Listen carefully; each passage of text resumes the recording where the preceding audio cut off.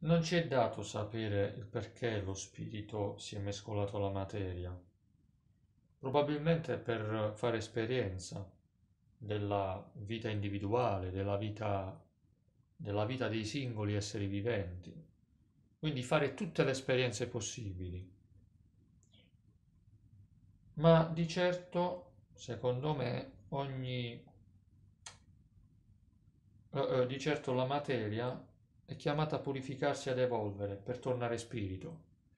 Questo soprattutto riguarda soprattutto gli esseri intelligenti, perché solo gli esseri intelligenti lo possono fare, come l'uomo. L'uomo è chiamato a purificarsi ad evolvere proprio per tornare spirito. È per questo che l'uomo anela, anela alla vita eterna, all'eternità, consape- consapevole che può arrivarci benissimo è altresì consapevole che questo, in fondo, è lo scopo primo della sua vita. Purtroppo l'uomo, per ignoranza e dimenticanza circa la sua natura divina, si dà alle vanità, amplificando il male, nutrendolo, attirandolo, con pensieri e azioni indegni, negativi, sporchi. Con questo si perde nella materia, si aggrappa ad essa, si illude, per meglio dire, si aggrappa al materialismo, condannandosi alla sofferenza, alla insoddisfazione perdurante, che lo farà tornare in questa dimensione fino a quando non reimparirà chi è veramente, ossia spirito puro, energia che vibra potente, con un corpo metafisico etereo, sublime, invisibile, che ci rende pienamente parte della natura e della sostanza di Dio. Ignorare le leggi che regolano il mondo fisico, dunque, e dunque ignorare le leggi che regolano il funzionamento dei fenomeni di questo mondo significa soffrire. Ignorare significa non conoscere, ma spesse volte accade di ignorare, non perché non si è potuto conoscere, ma perché non si è voluto conoscere. Chi conosce le leggi che regolano la realtà spirito, spirito fisica in cui viviamo, perché noi siamo misto di spirito e materia, spirito e fisico, spirito e corpo. Chi conosce le leggi che regolano questa realtà può agire in armonia con esse, potendo così, ponendo, ponendo così fine alla propria sofferenza, la quale non è altro che un remare contro tali leggi. Queste leggi rientrano nella natura di Dio e nel suo disegno intelligente, che è questo mondo e ogni altro mondo. Occorre cominciare col capire le piccole cose per poter capire le grandi cose, capire se stessi innanzitutto per capire il mondo. Capire se stessi è indagare le cause della propria sofferenza e superarle. Bisogna cessare di cristallizzarsi, bisogna cessare di, de- di desiderare le cose inutili ed inservibili alla propria evoluzione spirituale. Molta della sofferenza fisica, fisica e tutta la sofferenza psichica e spirituale derivano dalla non cura della propria spiritualità. È una parte di noi che diamo per scontata, inconsapevoli che anche lo spirito può ammalarsi e, cau- e causarci grandi sofferenze. L'Occidente ha grandemente tralasciato la sua spiritualità anche a causa della Chiesa istituzione che da sempre insegna che le cose spirituali sono, sono cose dei chierici, mentre quelle secolari e rituali sono dei laici. La spiritualità invece è di tutti, tutti devono essere guidati a trovare la luce guida dentro se stessi, affinché accada la saggezza, dunque la conoscenza in ognuno.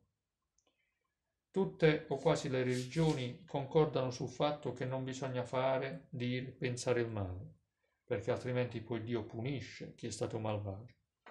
Alcune religioni dicono che non è Dio che poi punisce il male, il male che abbiamo commesso, ma è la legge del karma, la legge di natura di azione e reazione, cioè tutto ciò che si fa ritorna indietro. Potrebbe tornare indietro però non necessariamente nella vita presente, ma anche in una vita futura, in una vita, in una futura reincarnazione. Io non credo assolutamente, io non credo assolutamente al fatto che Dio punisca le cattive azioni. Credo che le cattive azioni si autopuniscano da sole. L'uomo che fa il male si è già punito. Perché? Perché esiste la, le- la legge del karma, che restituisce a tutti il male, il male fatto, il male commesso. Il fatto però che il male commesso possa essere pagato in una futura vita non lo ritengo giusto, ma si sa, in natura ci sono leggi che l'uomo non riesce proprio ad accettare, tipo la cruenta legge del più forte, Dio però è al di là di tali leggi, che forse sono state fissate dagli alieni nostri creatori, con tutti i limiti e le disfunzioni che hanno. Che hanno. Disfunzioni Disfunzione, per esempio, è la sofferenza che causa la legge del più forte e la catena alimentare ad essa connessa. Il leone che sbrana la gazzella, per noi non è giusto, e, e la, la, gazzella è tanto bella, è tanto, tanto tenera, è tanto, eh, diciamo, è peccata e non andrebbe sbranata, e invece la natura dice che è giusto. Ma noi questa cosa non la riusciamo ad accettare. E come non riusciamo, come non riusciamo ad accettare che la legge del karma possa punire, possa punire le cattive azioni compiute in una vita, le possa punire in un'altra vita. Dio è al di sopra delle leggi della natura, l'uomo invece è al di sotto di queste, insieme agli altri esseri viventi. Di certo però rispetto a questi ultimi può rendersi consapevoli della cruenza di tali leggi e con l'intelligenza cercare di ridurre le sofferenze che causano. Se non è stato Dio onnipotente a fissare le leggi della natura terrestre, potrebbero essere stati gli alieni nostri creatori, oppure Dio bene e Dio male nel loro eterno scontro e incontro, dividersi e fondersi, da cui scaturisce la vita materiale che noi viviamo su questa terra. È un mistero, è davvero un mistero intricato e avvincente l'origine della vita sulla terra e le leggi cruente che la regolano. Chissà, forse noi viviamo grazie a tale mistero. È tale mistero che ci, ci mantiene vi, vi, vivi. È tale mistero che uh, ci porta ad indagare continuamente e quell'indagare continuamente ci tiene vivi.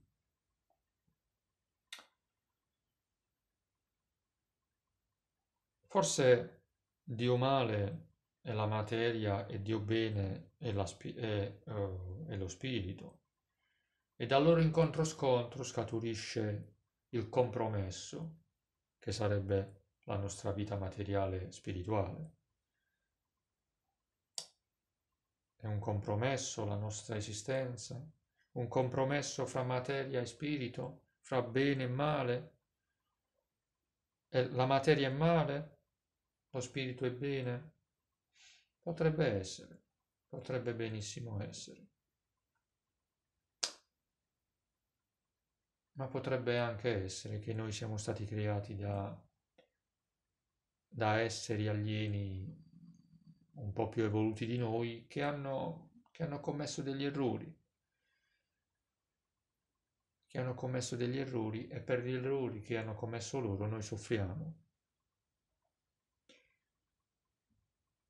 Oppure, oppure, quelli che ci hanno creati un giorno sono stati scacciati dalla terra perché noi vivevamo con loro, eravamo felici. Vedi, vedi per esempio il mito di Atlantide, il continente scomparso, ove, ove si dice che la vita era, era paradisiaca, l'uomo era felice, perché conviveva con i suoi creatori. Poi magari sono giunti sulla terra altri alieni che hanno fatto la guerra a questi, ai nostri creatori e li hanno scacciati. I nostri creatori hanno perso, li hanno scacciati e noi da, da allora, da 12.000 anni più o meno, da quando l'Atlantide è scomparsa, noi da allora siamo sotto il gioco, sotto la, il dominio di questi alieni che, che ci tengono come, come animali in uno zoo.